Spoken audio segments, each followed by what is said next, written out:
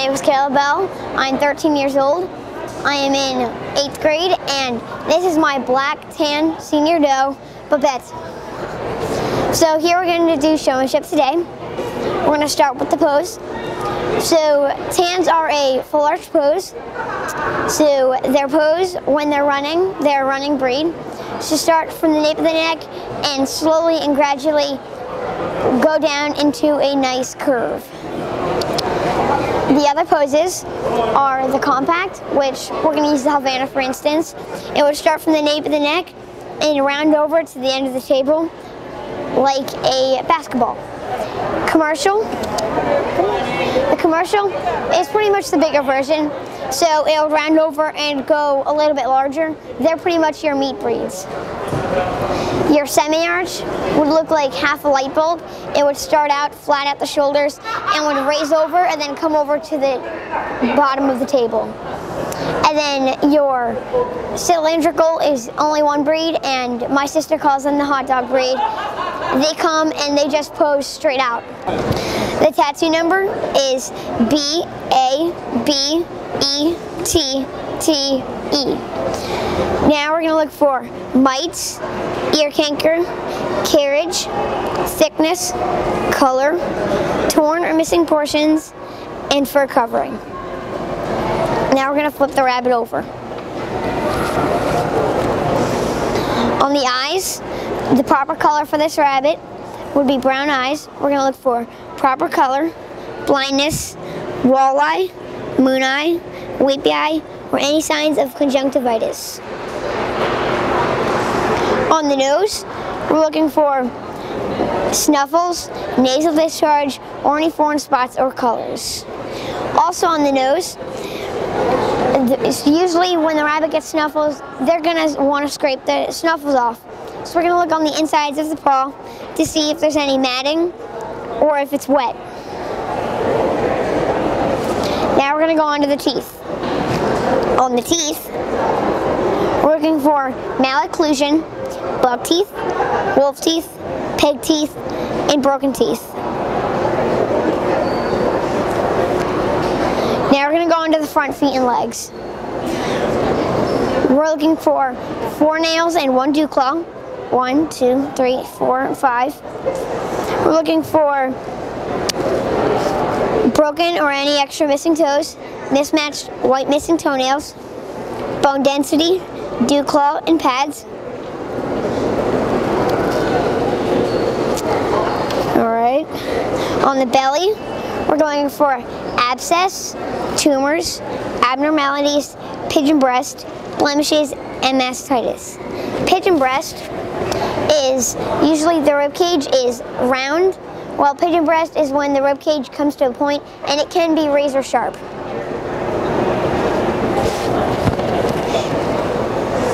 Now we're going to go on to the rear feet and legs. On the rear feet and legs, we're looking for four toenails on each foot. One, two, three, four. One, two, three, four. So we're looking for broken or extra missing toenails, mismatched white missing toenails, bone density, straightness, and sore hocks. So the hock on a rabbit is pretty much right here. And sore hocks is when it gets scabby or it can get bloody. This usually happens on the larger breeds. And to prevent that, you're just going to want to put a flat board in there. Now we're going to go on to the sex. We're going to see if it's a buck or a doe. And as you can see,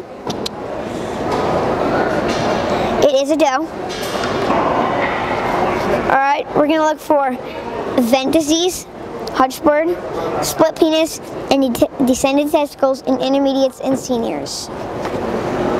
Now we're gonna go on to the tail. We're looking for wry tail, dead tail, bobtail, broken tail, colored, and straightness. So now I'm gonna move on to the fur. We're looking for luster, density, texture, rollback, flyback, which a tan has flyback, flyback when you stroke from the table to the nape of the neck, it flies right back into position. Rollback when you stroke from the table to the nape of the neck, it slowly rolls back into position. Rex, which is really short, is in the Rex breeds and the Mini Rex, and it's really velvety, so it's really soft. Standing is only in one breed, that is the Silver Fox. When you stroke from the table to the nape of the neck, it stands straight up. And wool is in the Angoras, Jersey Woolly, and American Fuzzy Lop. All right, so now we're gonna do judging comments. On judging comments, I am pretty much doing the job of what a judge is. I'm gonna relay what I think how good this rabbit is.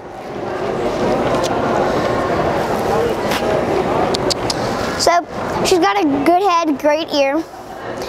She could use a little bit more on her eye circles, a little more boldness. I love her triangle. Her pea spots could be a little bit more bold, but other than that, they're really good. The luster on her fur, though she does have some pretty long fur.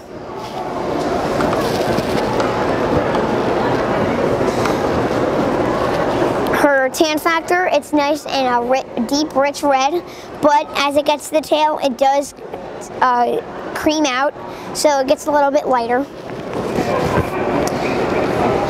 As you can see, her demarcation line is a little bit low, but other than that, it's pretty good, except the fact that she's growing some tan hairs here and up here.